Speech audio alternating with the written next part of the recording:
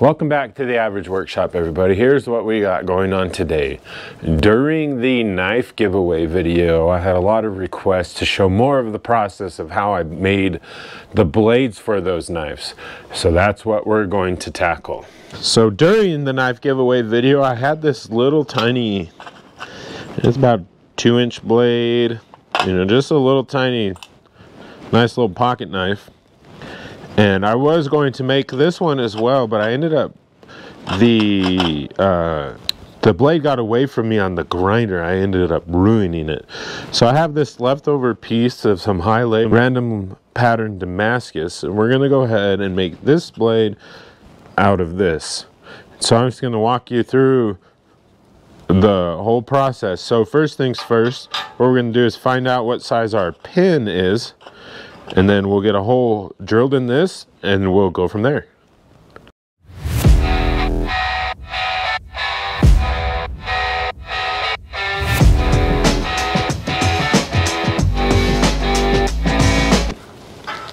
All right, so I got my hole drilled.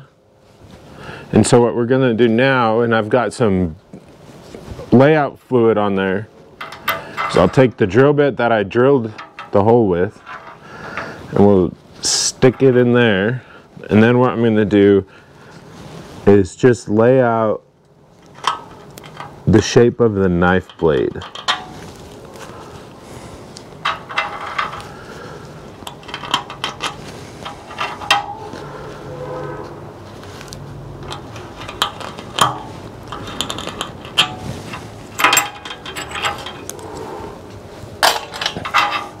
Okay, so now we have our knife blade shape laid out on there. We're going to take it to the grinder and get our rough profile in there.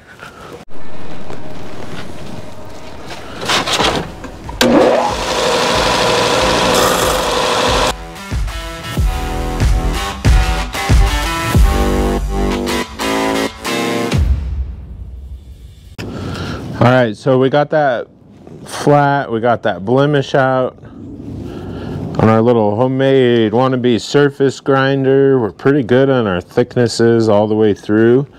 So what we're gonna go ahead now and do is heat treat this little guy. So I also have my homemade heat treat oven. So it's quite the process to heat treat, but first things first we're gonna do is warm this blade up to somewhere past critical and then let it cool down we're going to do that at different temperatures three times. That's going to be our normalizing cycles. Then we're going to heat it back up to temp, quenching in oil, and that's going to be make, what makes it hard. After we quench it, we will then temper it, reduce some of that hardness make it a little less brittle. So let's go ahead and start.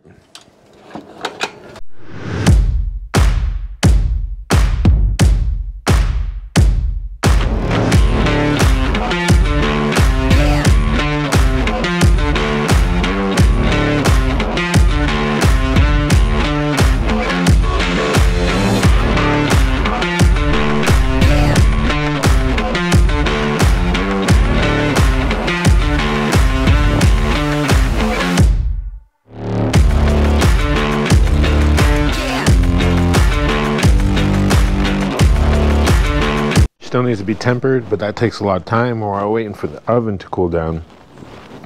We're gonna go ahead and start working on getting this thing ground flat and smooth. So we're gonna go ahead and head over to our homemade little wannabe surface grinder and get to work.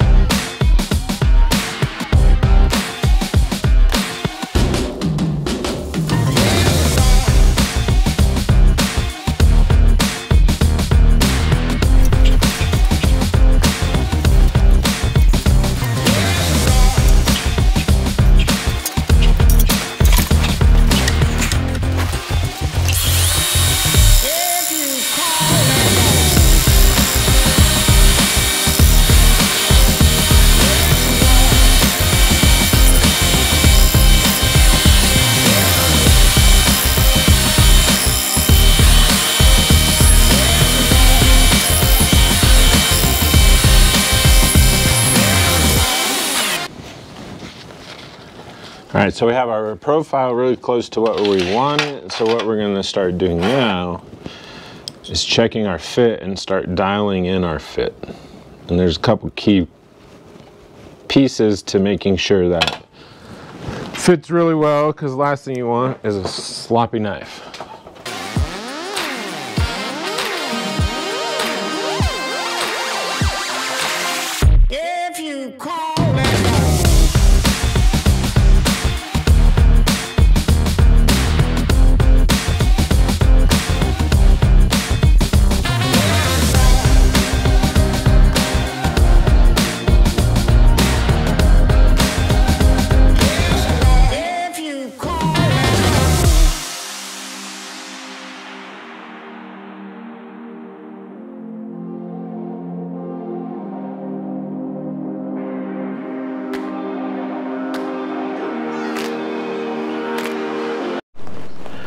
All right, now that we have our knife all heat treated, we're gonna put some layout fluid on the edge and go and scribe our center mark. That way we have a referencing for grinding our bevels, then we'll go try to grind in our bevels.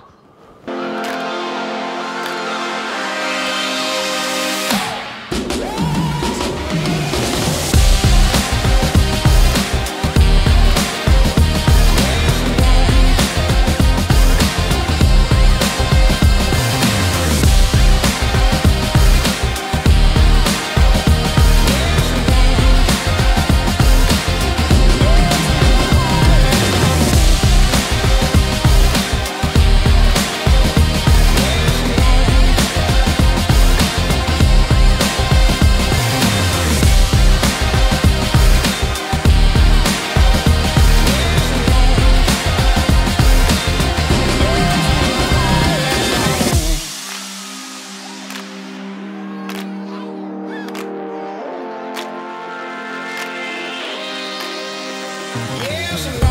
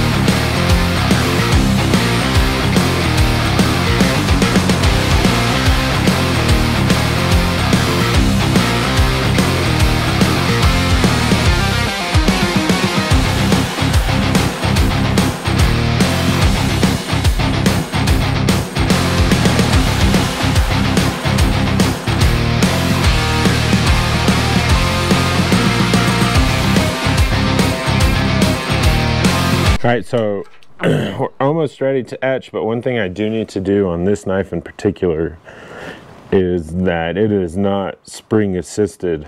So I need to add the little spot, you know, for your fingernail or thumbnail or whatever to catch it to help open the knife. So we're gonna go ahead and try to figure out how to do that.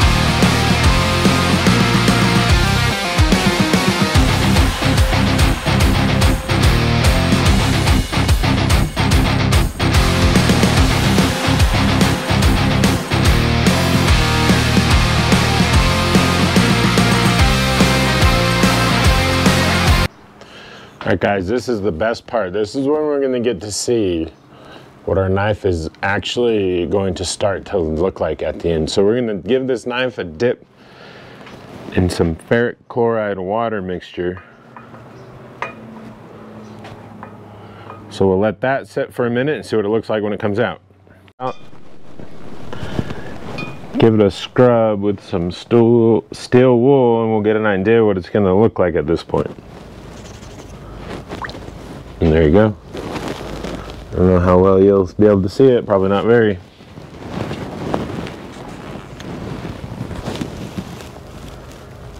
But we'll get it shined up and you'll be able to see it better after our next step, which is going to be, we're gonna rinse and repeat this step and then dunk it in some coffee.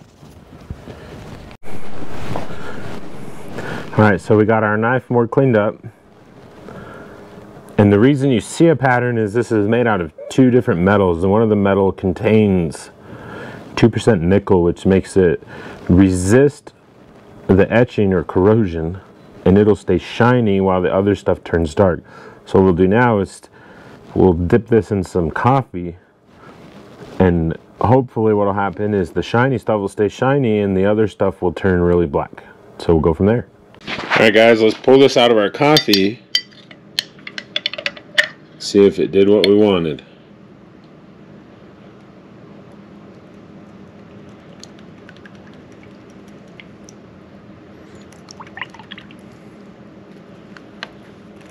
Well, one side looks better than the other. We might need a wiper down.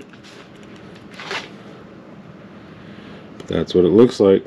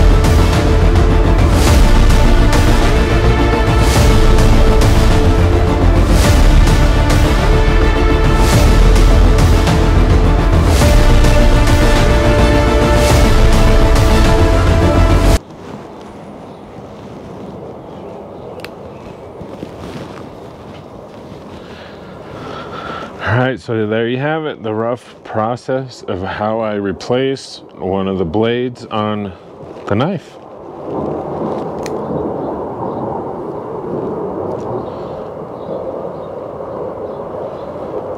Thanks for following along. Remember, if you haven't, hit that like button, subscribe button, and we will catch you on the next one.